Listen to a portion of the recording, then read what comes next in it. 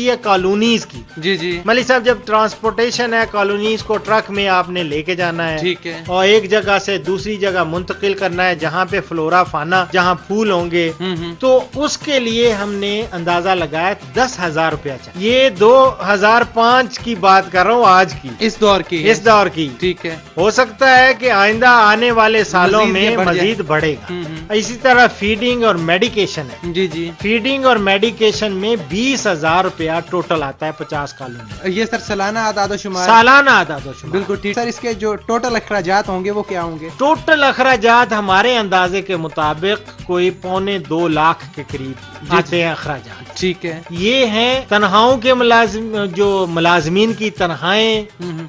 Transportation feeding medication टोट ये total अखराज तमाम। अच्छा सर ये इसके थोक के हवाले से भी यही होंगे और परचून के। हवाले से भी यही होंगे। लेकिन आमदन बढ़। आमदन का सर अब हम अगर जायजा लेते हैं तो वो क्या होगी? आमदन इससे ये हो जाएगी कि अगर आप शहद परचून में बेचते हैं हम्म, हम्म। तो वो तीन लाख रुपया मैंने बताया ना आपको। सालाना आएगा। सालाना आमदन होगी उससे। और उसमें एक और जो बड़ी चीज़ है हम्म। वो है नई कॉलोनिया आप बना लेंगे। अच्छा। उन्हीं की मालियत एक लाख पचहत्तर हज़ार रूपए होगी। वाह वाह वाह वाह। ये टोटल आमदन वैसे मैं ये बताऊँ को पाँच लाख के करीब हो करीब जाती हो। है। जाती क्या कहने? पौने पाँच लाख। हम्म, हम्म। जब उसमें से अखराज यानी पौने दो लाख निकाल दें। फिर तीन लाख वो बच जाते। मुनाफा प्रॉफिट प्रॉफिट नेट प्रॉफिट में। बिल्कुल ठीक है। और सर थोक में इसके अदाद शुमार क्या होंगे? थोक में जो है उसमें थोड़े कम हो जाएँगे। हम्म।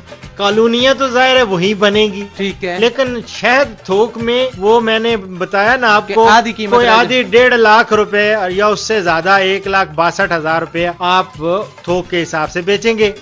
और कॉलोनियाँ अलबत्ता एक लाख पचहत्तर हज़ार रूपए की नई कॉलोनिया ठीक है। वो बना लेंगे सही ये टोटल आमदन तो बन जाएगी थोक के हिसाब से करें तो तीन लाख सैंतीस हज़ार पाँच सौ पाँच कॉलोनियों पे होगी। अच्छा अच्छा। लेकिन इसका जब हम आमदन और अखराजात को मिनहा करेंगे माइनस करेंगे जी, जी। तो डेढ़ लाख से ज़्यादा पैसे बच जाएँगे। फिर भी डेढ़ एक लाख तिरसठ हज़ार रुपया पाँच सौ ये है हमारा।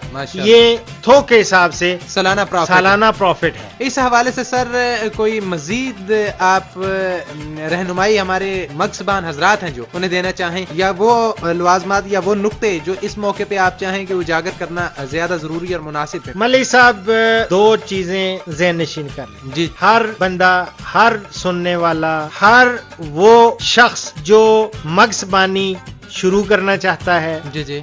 या इस पेशा को ज़्यादा से ज़्यादा फरोग देना चाहता है हम्म, हम्म। उसके लिए मैं अर्ज़ करूँ दो चीज़ें। जी जी। पहले नंबर पे है कि शहद की मक्खियों का शुमार जो है वो नफा बख्श जानदार कीड़ों में होता है। ठीक है। और याद रखें किसी भी जानदार के लिए। ज़िंदगी की मुख्तलिफ़ अवामिल में किसी भी किस्म की कोताही हम्म हम्म। बहुत ज़्यादा नुकसान का बायस बन सकती है। सही। इसलिए ज़रूरी है कि उसके बारे में पहले तरबियत हासिल की। ठीक है पहला नंबर है तरबियत बिल्कुल ठीक है। ट्रेनिंग लेनी निहायत ज़रूरी है। सही। और दूसरा जो है कुदरती अवामिल याद रखे मली साहब हम्म, हम्म। कुदरती अवामिल शहद की पैदावार पर बराह रास्त असरअंदाज होते हैं। ठीक है। इसलिए मगसबानों को जहनी तौर पर किसी भी किस्म की सूरत हाल के लिए दो चार होना पड़ता है। रहना उसके तैयार रहना चाहिए हम्म। रेडी रहना चाहिए। ठीक है। कुदरती आफात से शहद की पैदावार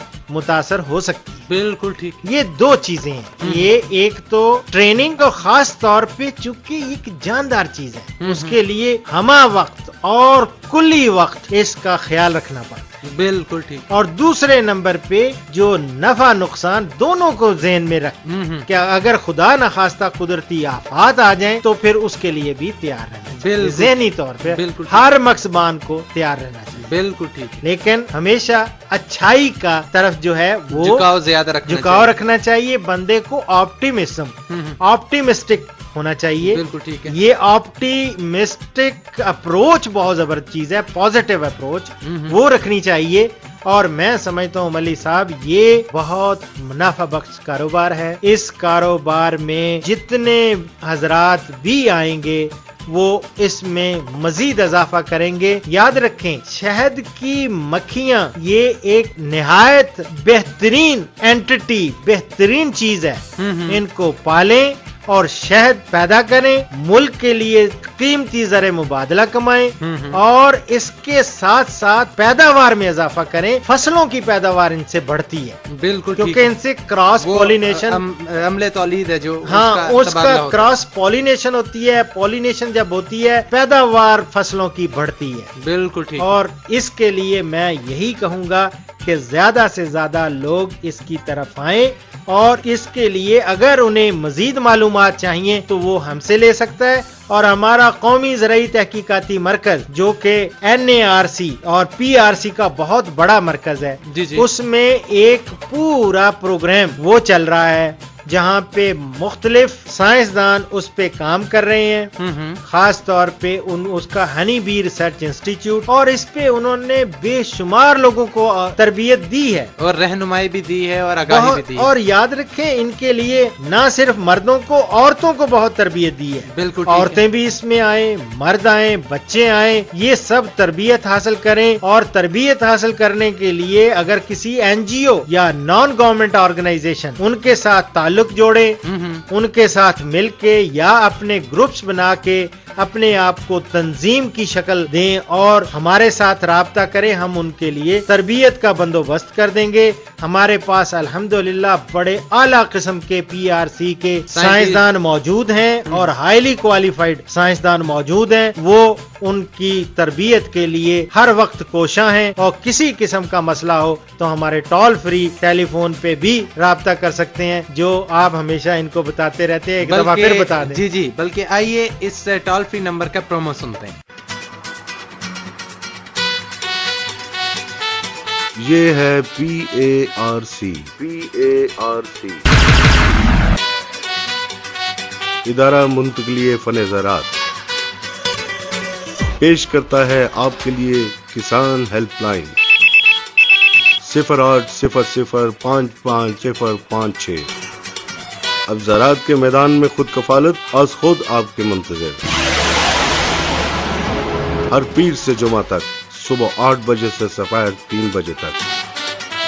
डायल कीजिए ये टोल फ्री नंबर और पाएँ अपने जई मसाइल का हल। Pakistan agriculture research council Islamabad. किसान की खिदमत में पेश पेश पेश पेश पेश पेश पेश पेश जी डॉक्टर साहब, हमारे सुनने वालों ने ये प्रोमो भी सुना और हमने ये मक्सबानी के हवाले से बहुत शेर हासिल गुफ्तगू की और अल्हम्दुलिल्लाह अल्हम्दुलिल्लाह ये कहते हुए मुझे बड़ी खुशी भी हो रही है, फख्र भी महसूस हो रहा है कि हम लोगों ने कोशिश की कि वो तमाम अमूर, वो तमाम लवाजमात उनमें से किसी को ना छोड़ा जाए। उन पर बड़ी तफसीली गुफ्तगू की गई, उन पर बड़ी तफसीली आपने मशवरे हैं जो वो मक्सबान हजरात को दिए और उम्मीद करते हैं कि इस तमाम प्रोग्राम्स हैं जो ये हमारे, इनको सुन के उस पर अमल करके इस सनत से भरपूर मुनाफा हासिल किया जा सकता है और यकीनन हमारे काश्तकार हजरात, हमारे मक्सबान हजरात इस सन से वाबस्ता होकर भरपूर मुनाफा और आमदन हासिल करें डॉक्टर साहब, बहुत शुक्रिया आपका। इसके साथ ही Pakistan agriculture research council Islamabad के स्टूडियो से मक्सबानी के इस स्पेशल प्रोग्राम से आपका बहुत शुक्रिया कि आपका ताबन हमें हासिल रहा, इजाज़त चाहेंगे। इंशाल्लाह मजीद हमारे पास बहुत से अमूर हैं, उन पे भी गाहे पगाए आपकी खिदमत हैं जो वो हम हासिल करते रहेंगे। बड़ी नवाज़ मली साहब, मैं आपका शुक्रिया अदा करना चाहता हूँ कि आपने इतने ज़बरदस्त किस्म के प्रोग्राम अल्हम्दुलिल्लाह ये बनाए और इन्हीं की वसात से हमारी टेक्नोलॉजी लोगों तक पहुँची। ये सर आपकी मोहब्बतें हैं और मैं आज भी ऑन एयर ये एतराफ करता हूँ कि ये सिर्फ़ और सिर्फ़ दस्ते शफकत है डॉक्टर साहब का कि जिन्होंने मेरी हिम्मत और मेरा हौसला बढ़ाया। बड़ी मेहरबानी डॉक्टर साहब आपकी। शुक्रिया अपना। और अपने सुनने वालों से इजाज़त चाहेंगे इंशाल्लाह फिर मुलाकात होगी दोषी हवा पे सुनते रहिएगा। फ़ी अमान फ़ी अमान